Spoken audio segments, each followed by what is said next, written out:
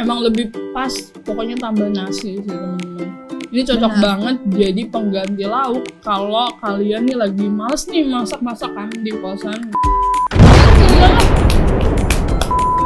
ini cocok banget sih kalau kita habis pulang kampus nih kan udah penat banget seharian terus makan cireng ini sambil nonton Netflix bener nggak? Bener banget.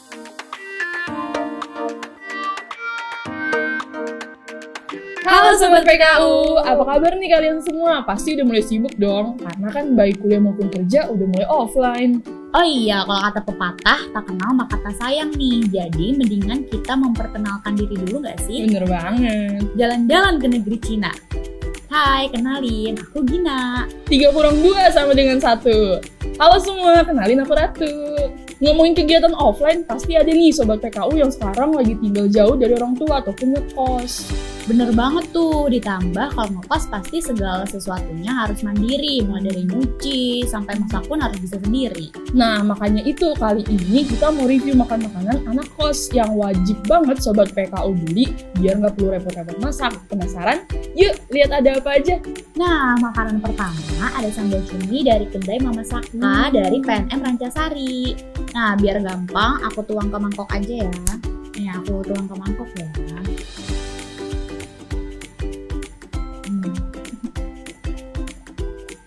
Wah, kelihatannya enak banget ya sambalnya. Wah, ini juga enak banget. Tapi kayaknya lebih enak kalau makannya pakai nasi gak sih? Betul banget. Kita langsung aja yuk cobain pakai nasi. Yuk.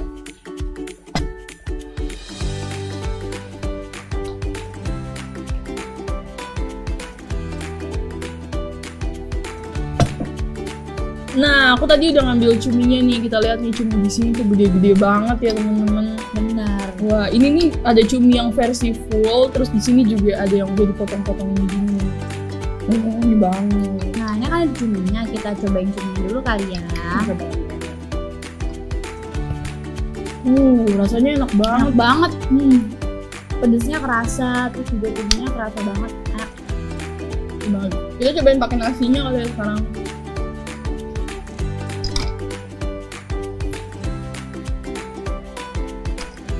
Hmm. Hmm. Enak banget. Emang lebih pas pokoknya tambah nasi sih temen-temen. Ini cocok Benar. banget jadi pengganti lauk kalau kalian nih lagi males nih masak-masak kan di kosan udah sibuk banget jadi banget. sambal cumi ini pas banget nih buat kalian Menurut aku juga enak banget nih, apalagi dengan harga 35.000 aja udah bisa dapat ukuran yang besar. Jadi cocok banget buat kantong anak kos. Betul banget. Oh ya sobat PKU, sambal cumi ini juga bisa tahan sampai 8 hari loh dalam kemasan. Jadi lumayan banget deh buat kalian. Oke, kita next ke makanan kedua kali ya. Iya. Nah, tadi kan kita udah nyobain sambal cumi nih. Kali ini kita juga ada abon tongkol dari Quintus PNM Mekar cabang Garut. Wow. Pertama kita review dulu ya dari packingannya.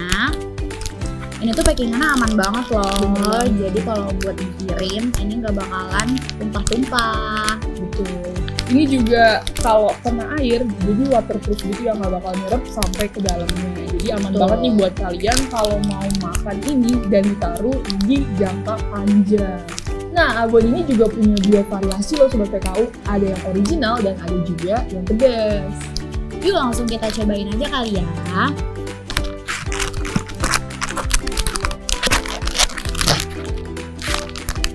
Nah ini aku tuang ke piring ya.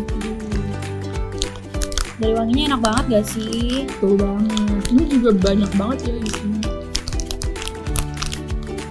Hmm, rasa wangi ikan tongkolnya tuh kecium banget. Ya. Yuhu. Yuk langsung kita cobain aja kali ya.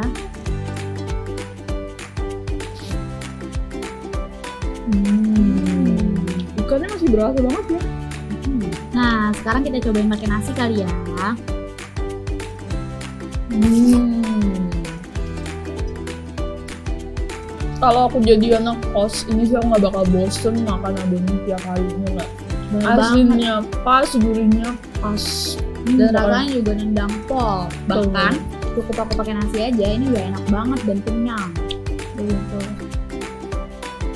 Oh ya sobat PKU, untuk harganya ini juga ekonomis banget loh. Cukup Benar. dua puluh ribu aja sobat PKU udah bisa ngerasain enaknya abon tongkol ini, bener nggak? Bener banget. Nah, kalau tadi kan kita udah ke makanan-makanan yang bisa jadi pengganti lauk. Sekarang kita masih ada makanan untuk cemilan kalau kalian lagi bosan di kosan nih. Nah, makanan yang ketiga ada cireng mercon dari nasabah PNM Jakarta nih. Kalau dari tampilannya sih ini kayaknya ayamnya banyak banget sih. Benar. Nah, langsung kita cobain aja kali ya. Uh, tebel banget. Ini kita pertama. Hmm.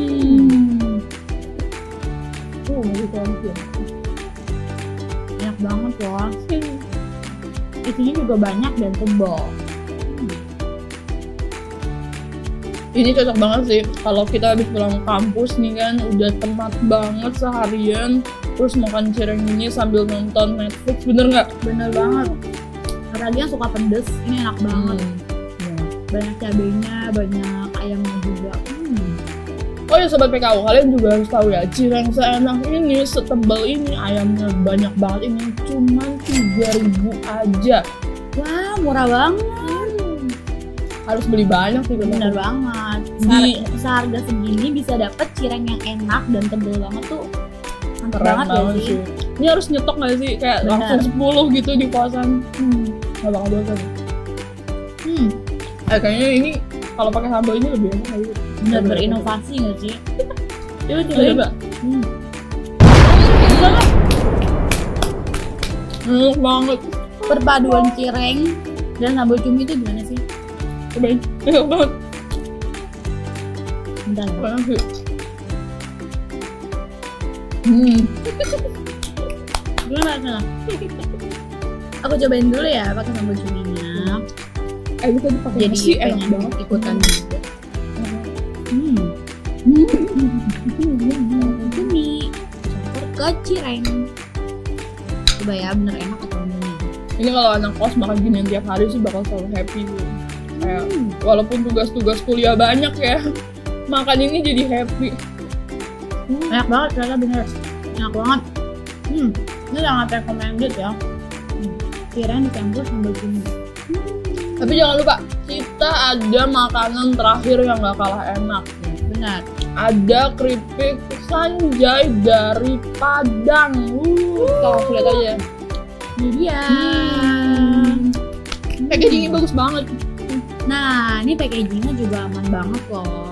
Jadi nggak bakalan tumpah kalau untuk dikirim. Kita langsung cobain aja kali ya. Wow. Wow, ini enak banget cobain ya. Hmm, renyah banget. Hmm. Ya kan renyah banget gak sih? Ya kita harus Rasanya bikin- juga pas. asmr nggak sih bikin hmm, rasanya. Hmm,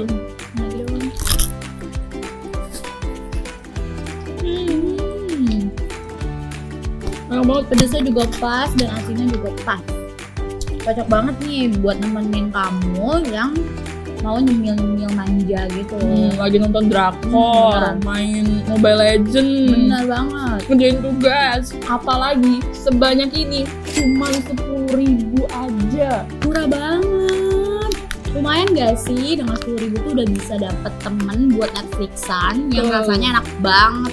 Hmm. Tuh, kita campur lagi kali ya pakai nasi. Nih kalau nggak pakai nasi- senangnya campur-campur ya. Betul, kalau nggak pakai nasi itu kurang lengkap kan kita orang Bukan orang Indonesia. Indonesia ya, benar-benar. Tapi kali ini aku nggak mau cobain kayak kamu sih. aku mau makan mie aja. Hmm. Hmm. Enak banget. Nah, gimana nih sobat PKU? Enak-enak banget gak sih makanan anak kosan yang udah kita cobain tadi? Buat yang mau order semua makanan bisa banget kalian langsung pesan lewat nomor dua ini ya. di sini.